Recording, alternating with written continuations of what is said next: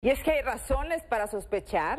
Pues recordemos que el gobernador Cuauhtémoc Blanco aseguró que la fotografía con los tres delincuentes fue producto de la casualidad. Después el vicario Tomás Toral aseguró que efectivamente el gobernador Cuauhtémoc Blanco estuvo en la misa de la Virgen de Guadalupe en diciembre del 2018, por lo que seguramente la foto fue tomada ahí sin que él supiera de quiénes se trataba. Pero lo que omitió decir el vicario o recordar fue que la iglesia está clausurada desde el 2017. Entonces, ¿cómo fue que esta fotografía pudo ser tomada un año después en esta parroquia, la parroquia de la Asunción, clausurada tras los sismos del 2017 por los daños que sufrió? ¿Cómo? Se habla de un padre, este, Juan Alvarado.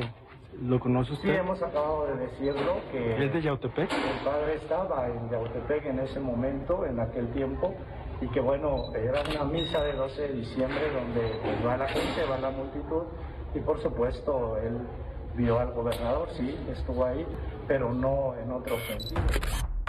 La polémica fotografía del gobernador Cuauhtémoc Blanco, en la que posa con tres líderes criminales en Morelos, uno preso, otro muerto y el tercero en libertad, sigue despertando dudas.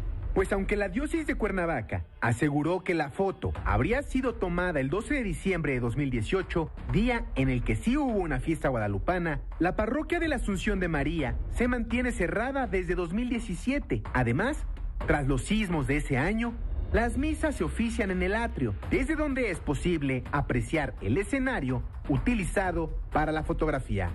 En esa fecha, al frente de dicha parroquia, ya se encontraba el padre Fernando García Mendoza, quien confirmó a Milenio que desde agosto de 2018, Juan Alvarado fue reubicado a la parroquia de San José el Calvario, en Cuernavaca.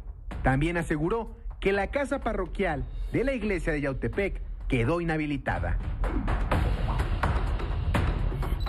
También tras la polémica, quedó expuesta la relación de Cuauhtémoc con el padre Juan Alvarado, quien sería amigo cercano del exfutbolista y quien incluso ofició su boda.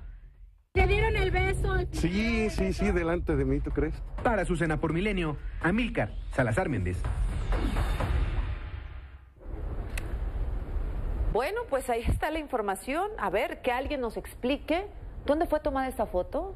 ¿Fue en el 2018 entonces o en el 2017?